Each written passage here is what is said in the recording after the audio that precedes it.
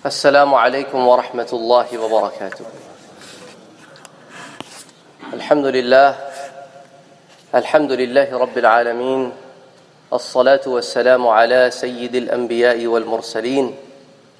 أشهد أن لا إله إلا الله وأشهد أن محمدا عبده ورسوله. أرسله بالحق بشيرا ونذيرا. ربي زدني علما. قال الله تعالى في القرآن الكريم أعوذ بالله من الشيطان الرجيم. بسم الله الرحمن الرحيم. لقد من الله على المؤمنين إذ بعث فيهم رسولا من أنفسهم يتلو عليهم آياته ويزكيهم ويعلمهم الكتاب والحكمة. وإن كانوا من قبل لفي ضلال مبين. صدق الله العظيم. The ayah of the Quran that I have just recited to you comes from Surah Ali Imran, the family of Imran. This is ayah number 164. In this ayah, Allah subhanahu wa ta'ala is talking about Prophet Muhammad sallallahu alayhi wa alihi wa sallam. It is one of the only ayahs of its nature where Allah subhanahu wa ta'ala introduces His Prophet to everybody and say, This is my favor upon you that I have given you this prophet. And each and every prophet from Allah subhanahu wa ta'ala that has ever come on the planet earth is Allah's mercy on us. That He wants us to be guided. He doesn't want us to lose the correct path. So it is the mercy of Allah subhanahu wa ta'ala that He raises the prophets from among us. And this is what the Quran, this ayah says, that this is the favor on mu'mineen, the believers that Allah subhanahu wa ta'ala has sent a prophet to them from among them. Now think about it, if a person comes from outside, doesn't know the language, doesn't know the culture, never lived in the society, doesn't know the norm, doesn't know the ins and outs. But when the person is born within, then automatically learns all of this from the environment, can understand the needs of an individual that lives in the society. So Allah subhanahu wa ta'ala is talking about that and saying that this is the favor of Allah subhanahu wa ta'ala on you that He has sent somebody who is from among you. You know that person and that person knows you. And this person's job is that this person tells you the signs from Allah subhanahu wa ta'ala, ayatihi, wa yuzakkihim, and He cleans you from inside out. وَيُعَلِّمُهُمُ الْكِتَابِ And this is the person that teaches them the book of Allah subhanahu wa ta'ala. And on top of that, hikmah, the wisdom. And all of this was done by Allah subhanahu wa ta'ala. Why? Because the same ayah talks about it and says, وَإِن كَانُوا مِن قَبْلُ لَفِي ضَلَالٍ مُبِينٍ Because before the coming of the Prophet, these people were not on the right path. So Allah subhanahu wa ta'ala, among the different duties the prophets are sent with, there is one very essential duty that he talks about, and that is وَيُعَلِّمُهُمُ الْكِتَابِ He's a teacher. He teaches. Now if I want to teach, and nobody shows up, what happens? I can't teach anybody.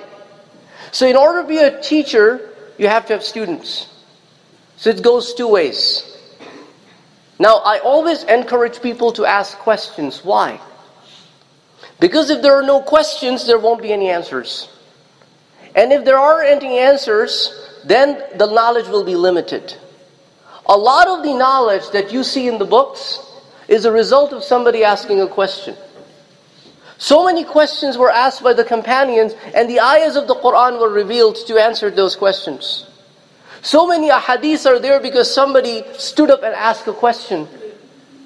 Allah subhanahu wa ta'ala encourages us to ask questions and encourages us to provide with reasonable answers.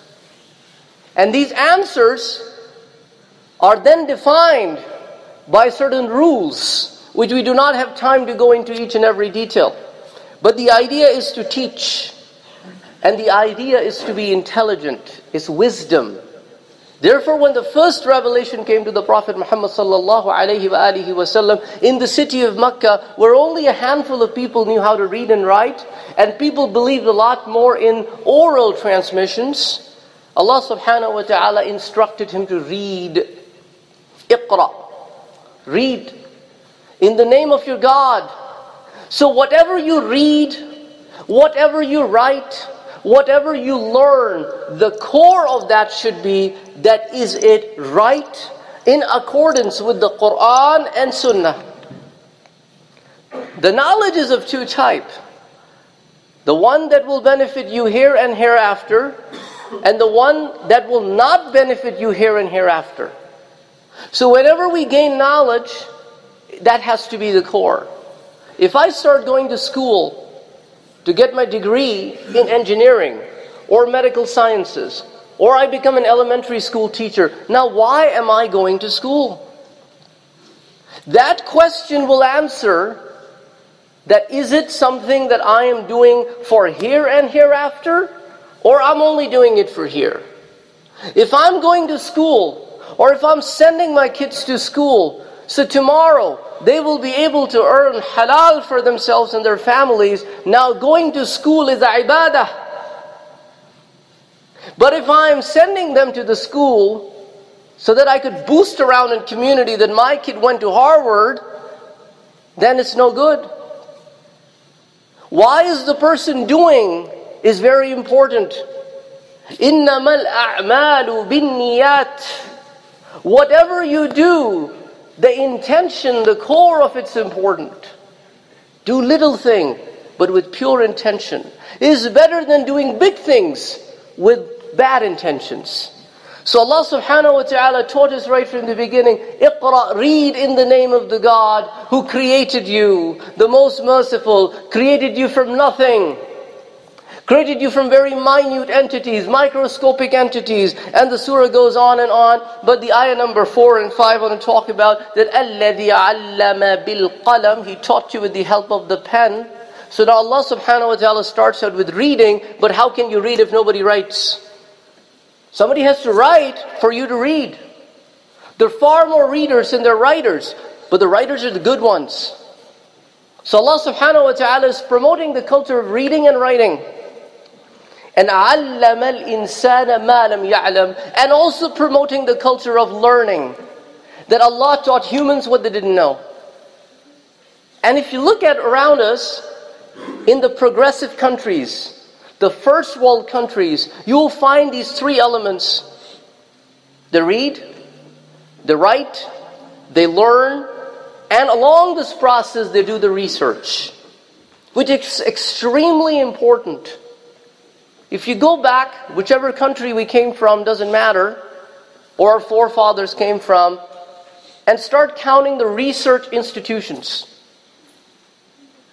Then start counting the research institutions in the entire Muslim world. And compare that with one first world country's research institutions.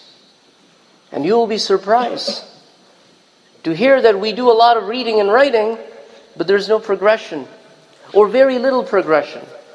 Because we have forgotten the message. We're busy in other things, little things, which don't matter much. This book was given to us so that we be guided. This book doesn't end at the door. That's from where the journey starts. That's something that we have forgotten.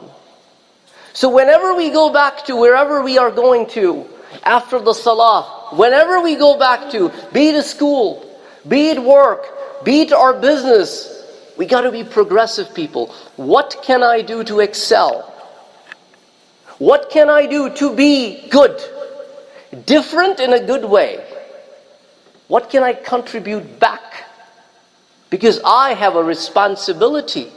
Because my Allah has taught me to read and write and spread knowledge, gain it, spread it, and it's not limited as long as it's good. Now when Allah subhanahu wa ta'ala created Adam alayhi salam and introduced him, the whole conversation I presented to you many times was all about knowledge. Angels presented their set of knowledge, said, This Adam and his offspring will cause nothing but bloodshed. And Allah subhanahu wa ta'ala's response was, I know what you don't know. So it's about knowledge. Then Allah subhanahu wa ta'ala taught Adam, taught, teaching, knowledge. Then ask angels, question, knowledge. They said, La ilma lana illa ma'allamtana. We don't know. Lack of knowledge. Then Allah asked Adam, Ambihum bi asma'ihim. Tell them the answers, knowledge.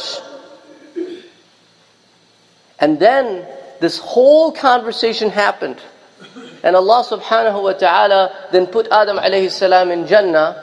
Whatever happened, he had to leave the Jannah. And then when he was leaving Jannah, he was worrisome. Because he knew he had done something that he was asked not to do. So Allah subhanahu wa ta'ala again taught him فتلقى آدم من ربه كلمات فتاب عليه إنه هو التواب الرحيم Allah subhanahu wa ta'ala taught him the words by which he should ask forgiveness. And then, when they were sent over here, Allah subhanahu wa ta'ala again gave him an instruction, knowledge. فإما يأتينكم مني هدى فمن تبع هداي فلا خوف عليهم ولا هم يحزنون Whenever a knowledge comes from me to you, take that knowledge as a guidance. Anybody who works on that guidance would not have to worry about. On the day of judgment, on the day of giving. So knowledge is at the core. So we as individuals, as humans, we can't be robots. We have to take, ponder, and question, and learn. It's all about learning principles. We need to sit and say, okay, how can I pray properly? And I should be able to read that. How to fast properly. How to give zakah properly. All of these are basic principles of Islam. Start from basics. But we got to read. We got to learn. Is it okay if I only show up for Jummah? Or do I really, really have to pay, pray five times a day? We have to pray five times a day. Okay, what would happen if I don't? Read. What will happen if I do not live my life in accordance with the principles of Allah subhanahu wa ta'ala? We got to go and read and learn. And we're living in times where literature is available everywhere. So nobody can complain, the literature is not in my language. We got literature in English, in Albanian, in Urdu, in Hindi, in Bengali, and you name it. Some books written in Arabic have been translated in 100 languages. Subhanallah. You cannot say that I can't find translation of the Quran in my language. There are opportunities to learn. Are we willing to learn is the question. So Allah subhanahu wa ta'ala right from the beginning laid this foundation of learning. And in hadith reported by Imam Bukhari, Prophet Muhammad sallallahu alayhi wa alihi wasallam said, Man yuridillahu bihi khayran. When Allah subhanahu wa ta'ala want to do good to somebody, يُفَقِّهُ فِي الدِّينِ Give him the understanding of religion. So wouldn't we want to be in that goodness? We wouldn't want to be having a share out of that goodness. We definitely want to. Because remember the Jannah that we are all longing for, Allah subhanahu wa ta'ala says, أُعِدَّتْ لِلْمُتَّقِينَ I prepared it for God conscious people. So, in order to be that God conscious person, I got to learn and read and apply. If it was all about reading, it would have been so easy, right? But Allah subhanahu wa ta'ala says, those who have believed, amanu, wa amilu salihat, and did good deeds, they are the one that when they come to us, that they wouldn't have to worry about it. And when you do good deeds, the intention is very important as I spoke about it. In another hadith reported by Imam Tirmizi, قال رسول الله صلى الله عليه وسلم Prophet Muhammad صلى الله عليه وآله وسلم said من خرج في طلب العلم Anyone who takes off to seek knowledge and again I gave you the principle already كان في سبيل الله حتى يرجع He is in the way of Allah subhanahu wa ta'ala until he comes back. Now think about it. If my intention is pure and I'm doing it for Allah subhanahu wa ta'ala, and I'm doing something good, I am on in His way, each and every step, each and every mile counts. Subhanallah. The Lord is willing to give. Are we willing to take is the question. Subhanallah. I will going to share with you a narration from Tirmizi.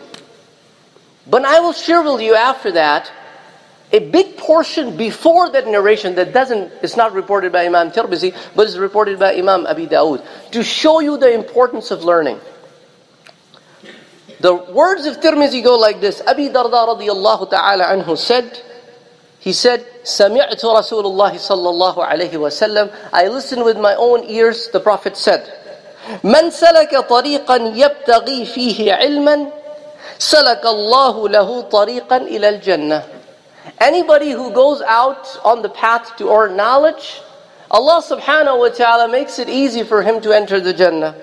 وَإِنَّ الْمَلَائِكَةَ لَتَضَعُ أَجْنِحَتَهَا And the angels put their wings on the way of such a person, رِضَلِّ طَالِبِ الْعِلْمِ Who is going on the path of Allah subhanahu wa ta'ala for the sake of Allah to earn the knowledge.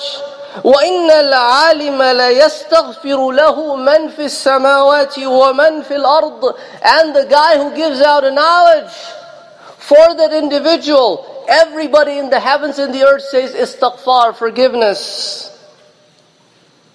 حتى الحيتان في الماء Even the smallest creature at the bottom of the sea. وفضل العالم على العابد كفضل القمر على سائر الكواكب and the guy who is abid, a staunch worshipper, and the guy who is a scholar, the difference between the two is the scholar is like a bright moon, full moon. And abid is like a twinkling star. That's how the comparison between the two is. Scholar is of a much higher value. إِنَّ الْعُلَمَاءَ وَرَثَةُ الْأَنْبِيَاءِ The true inheritors of the prophets are the ulama, the scholars. And إِنَّ الْأَنْبِيَاءَ لَمْ يُوَرِّثُوا دِينَارًا وَلَا دِرْهَمًا And the prophets do not inherit, do not pass on to the next people any dollars. وَإِنَّمَا وَرَّثُوا الْعِلْمِ they pass on knowledge. فَمَنْ أَخَذَ بِهِ The one who takes from it. أَخَذَ بِحَظٍ وَافِرٍ Has taken abundance out of it. The hadith ends here. These are the words of Imam Tirmizi. Imam Abi Dawud brings similar hadith. But as I tell you, told you that I'm going to give you a portion before this one. What really happened when Abi Darda had to narrate this narration to somebody. And the, reported by an individual by the name of Kathir ibn Qais. He said, كنت جالسا مع أبي الدرداء We were sitting with Abi Darda في مسجد دمشق in the masjid in Damascus. Keep that in mind. May Allah subhanahu wa ta'ala give peace and tranquility to the land of Syria and everywhere in the world where there is turmoil. This is where this masjid is located in Damascus. And he says, فَجَاءَهُ رَجُلٌ رَجُلٌ And a man came. فَقَالَ And he said, يَا أَبَا دَرْدَى O Aba Darda, إني جئتك من مدينة رسول الله صلى الله عليه وسلم I came to you from the city of the Prophet.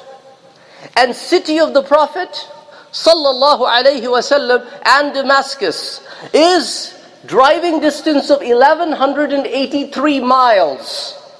Flying distance close to 600 miles. But we're talking about 1400 years ago. So I'm just talking about the driving distance.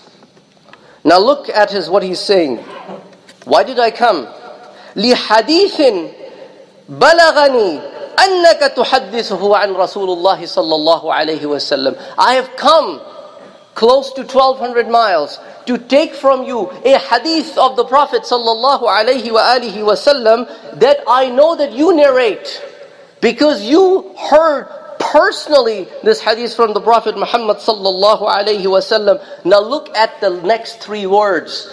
Ma ji'tu li hajatin. I did not come here for any other reason. Allahu Akbar. This is knowledge This is thirst of knowledge. Traveled close to 1200 miles because it reached him that there is one hadith that a companion of the Prophet by the name of Abi Darda listened with his own ears and he lives in Damascus. So the guy traveled from Medina to Damascus just to hear that hadith from the first person who listened. It's not the first time he was listening. He listened to it before, but secondhand. Probably Abi Darda was among the few people alive who listened at the time this hadith was narrated. So the importance of knowledge and its thirst. Do we have it? How many times did we had an opportunity of spending time out of the time that we would waste, watch TV, and say, okay, today I will learn something and improve myself. One thing, little thing, five minutes. أقول قولي هذا وأستغفر الله لي ولكم ولسائر المسلمين فاستغفروه إنه هو الغفور الرحيم